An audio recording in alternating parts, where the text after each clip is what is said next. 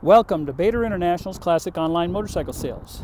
This very nice motorcycle is part of the Dave Fischer collection that we're going to be auctioning off this June 9th, 2018 at the Frontier Harley Davidson dealership in Lincoln, Nebraska. This bike is a 1933 Harley Davidson RL and as you can see it's been nicely restored in the silver with light blue paint scheme.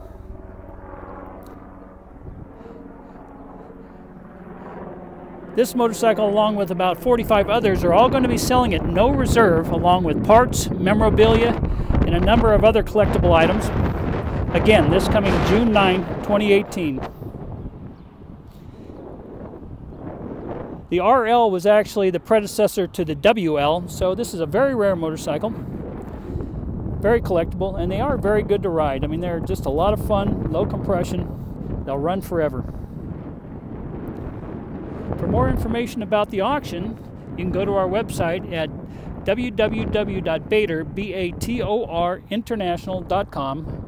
or you can call me direct at 805 798 1802, and I'll be happy to speak to you about it.